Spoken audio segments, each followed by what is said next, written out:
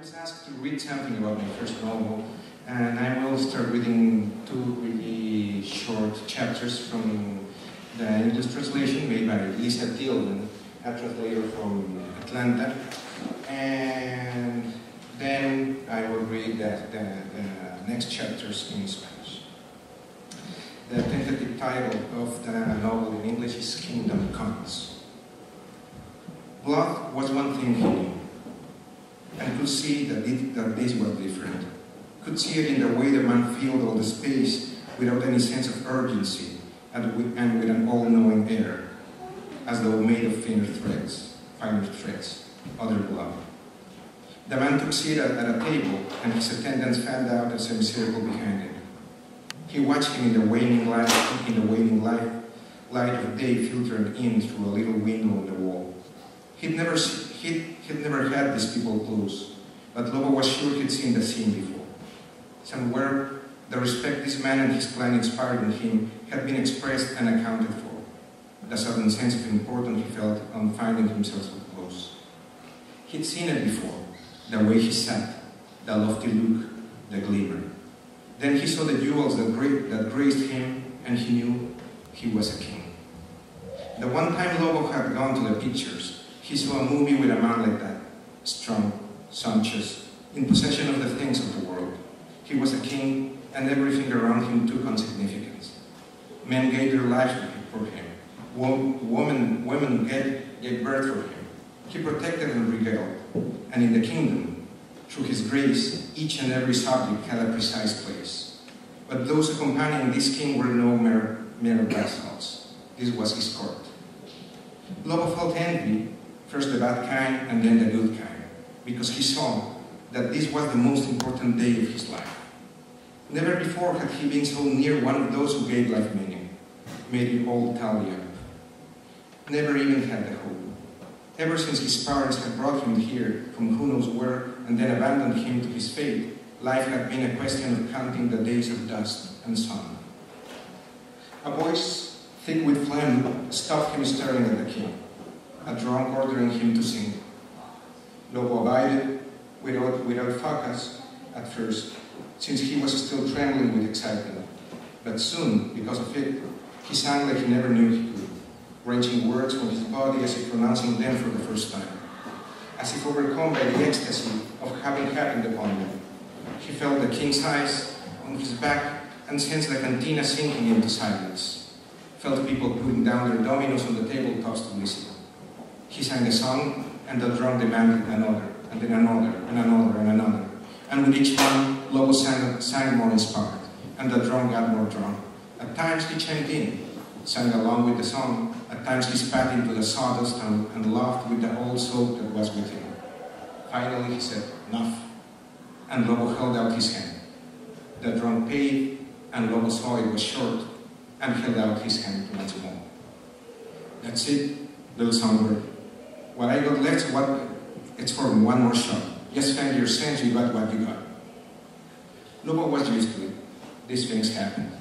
And he was about to turn away in what can you do resignation when he heard behind him, Pay the artist. Lobo turned to see that the king held the drum in his gaze. He said, calm. It was a simple order, but the man didn't know when to stop it, his god. What artist? he said. Only one I see here is this clown, and I already paid. Don't get smart, friend, the king's voice hardened. Pay him and share. The drunk stood, stood and stumbled to the king's table. His men went on alert, but the king sat unflustered. The drunk struggled to focus on him and then said, I know you. I hear what they say. I, I heard what they say. That a fact? And what do they say? The drunk laughed, cheek clumsily. Nah, not talking about your business. Everybody knows it.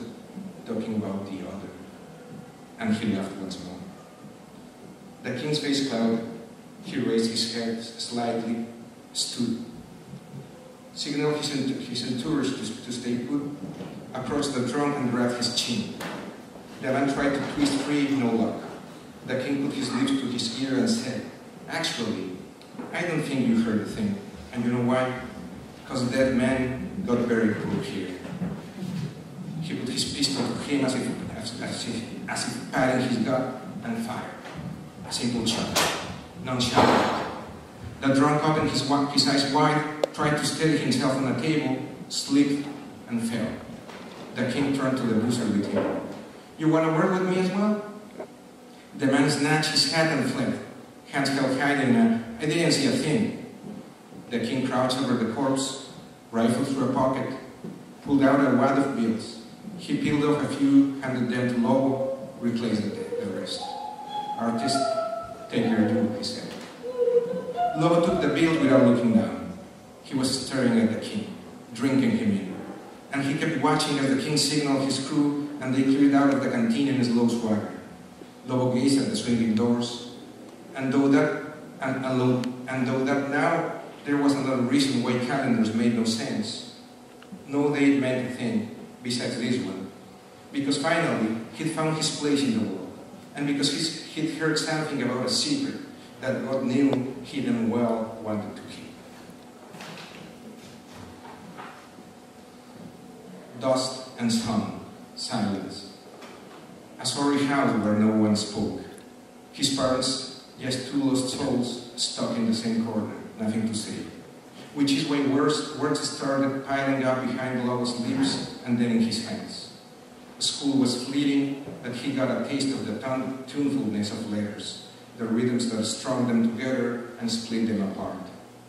It was a private discovery, for to him the chalkboard marks were blurry and the teacher took him for a fool, so he confined himself to the solitude of his note. Still, through his own pure passion, he mastered the styles of sounds and syllables, the habits, the habits of accents, before being sent to earn his keep on the street, to peddle rhymes for pity and coins. The street was hostile territory, a soundless struggle whose rules made no sense. He managed to withstand it by repeating dulcet refrains in his head and, and by inhabiting the world through, its public words, posters, papers sold on street, on street corners, signs. These were his cure for chaos. He stood on the sidewalk to slide his eyes again and again over any random string of words and forget the fierce environments around him. One day, his father put the accordion in his hand. Coldly, as if instructing him how to unjam a door, he taught him to combine the chords bottom on the left with the basses on the right, and held the bellows trap and, and held the bellows trap and released air to shape the sounds. Now hold it good, he said, because this is your breath. The next day, he skipped over to the over to the other side. They waited in vain. Then his mother crossed over without so much as a promise of return. They left him the, the accordion so he could get started in the cantinas. And there he learned that with, with boleros you might get by with a sweet face, but corridos require bravado and acting out the story as you sang it. He also learned these truths. Life is a matter of time and, misfortune. There is a God, and he says, deal with it, because this is the way it is.